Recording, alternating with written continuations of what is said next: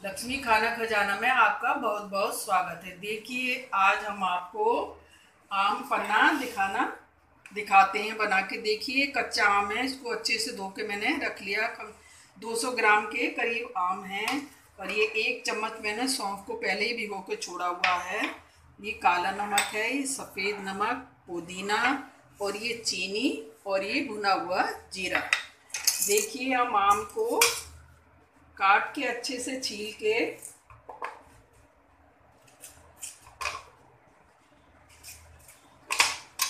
देखिए छील के मैं भी आपको काट के दिखाती हूँ। मुझे भी दिखाना कब थोड़ा सा। अब देखिए हमारा आम का फल काट के रख लिया है। देखिए जब इसमें जाली पड़ जाती है ना तभी इसका अच्छा बनता है। देखिए एक आम मेरा ऐसे कच्चा निकल गया। तो कई बार काटने में ये गुठली आ जाती है तो इसका आप ध्यान रखें। अगर ये आ गई तो आपका पन्ना कड़वा हो जाएगा। ये ज़रूर ध्यान रखें।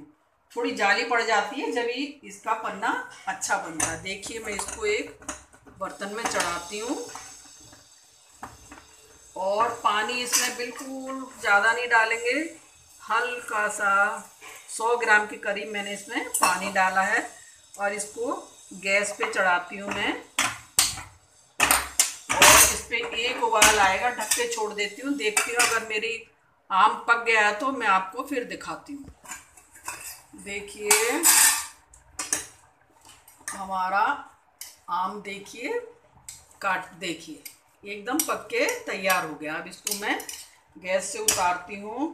इतने ये ठंडा होगा, इतने हम अपनी चाशनी बनाते हैं, भगवाना रखते हैं। और देखिए, ये मेरी 150 60 ग्राम के करीब चीनी है। इसमें हम पानी डालेंगे, देखिए।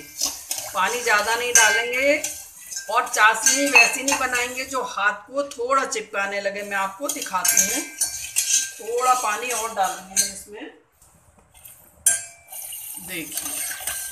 और चाशनी को ढक के नहीं करेंगे और थोड़ा चलाते रहेंगे जो चीनी ना जम जाए।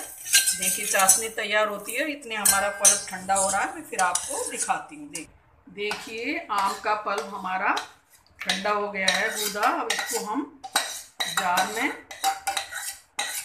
जार में डाल देंगे। और ये जो मैंने सौंफ भिगो के रखी हुई थी, इसको भी डाल दूँगी। सौंफ ऑप्शनल है, आप डालें या ना डालें। और देखिए, ये पुदीना है बीस ग्राम के करीब। ये मैं पुदीना भी इसमें डाल रही हूँ। देखिए। और ये देखिए, नमक, एक चम्मच से थोड़ा ज़्यादा है, सफ़ेद नमक। और ये एक चम्मच मैंने नाप के रखा हुआ है, ये काला नमक है। देखिए, और कम ज़्यादा बाद में भी पड़ सकता है, ऐसी कोई बात नहीं। अब इसको मैं चलाती हूँ और फिर दिखाती हूँ मैं आपको। देखिए, चाशनी भी हमारी बनके तैयार है। इसमें एक, दो, तीन तार की ऐसी कुछ नहीं, थोड़ा उंगली को चिप चिप करने लगे। तो समझिए आपकी चाशनी तैयार है। देखिए, मैंने ये मिक्सी में जार में डाल के पीस लिया था। अब इसको धीरे धीरे मैं डालूँगी। देखिए।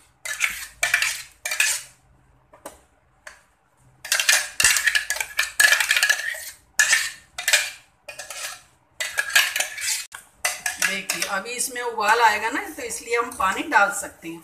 और बाद में भी आप पानी, आपको ज़्यादा पतला करना है तो उबाल के पानी डालिए और देखिए थोड़ा सा उबाल आएगा इसमें मैं फिर आपको छान के दिखाती हूँ। देखिए, हमारे आम पन्ना में उबाल आ गया। अब इसको थोड़ा मैं ठंडा करके फिर देखिए इसमें छान के दिखाऊँगी। और इस टाइम आम बहुत आया हुआ मार्केट में और वैसे भी सस्ता है और ये गर्मियों में बना के रखें आप। दो महीने तक तो वैसे भी पी सकते हैं और आपको पूरे साल के लिए रखना है। तो साइट्रिक एसिड डाल के आप इसको फ्रिज में रख सकते हैं। अब ये थोड़ा ठंडा होगा, मैं छान के और गिलास में डाल के आपको दिखाऊँगी। खाना हमारा फटाफट बन के तैयार है और कुछ लोग इसको सोडा डाल के भी पीते हैं। कुछ ऐसे, देखिए, आप गिलास से पीजिए, चाहे बाउल में डाल के डाइनिंग पे बैठ के सिप सिप करके आनंद लीजिए। और ये गर्मी में बहुत ही फ़ायदेमंद है आम इस टाइम भरपूर आया हुआ है। आप भी बनाइए और इसके ऊपर देखो, मैं आपको दिखाया नहीं था, भुना हुआ मैंने जीरा भी डाला था। तो उससे और भी अलग ही टेस्ट आता है। आप मेरे बताइए कि आपको कैसा लगा और मेरे चैनल को सब्सक्राइब कीजिए और लाइक बटन दबाना बिल्कुल ना भूलें। और देखिए, ये मैंने छाना था तो इतना इसमें ये निकला। कुछ लोग नहीं छानते, वो थोड़ा चबा चबा के आता तो उनको अलग ही वो होता है, मैंने इसको छाना है, इसको मैं फेंकूँगी नहीं। अगर पीना तो उस टाइम थोड़ा डालिए और पीजिए और आप आनंद लीजिए और इसके ऊपर भुना हुआ जीरा भी डाल सकते हैं। देखिए। ये गर्मियों के लिए बहुत ही फ़ायदेमंद है, बच्चों के लिए, बड़ों के लिए, हाजमा बहुत करता है बहुत ही ठंडा रहता है। जय श्री कृष्णा, जय श्री कृष्णा, जय श्री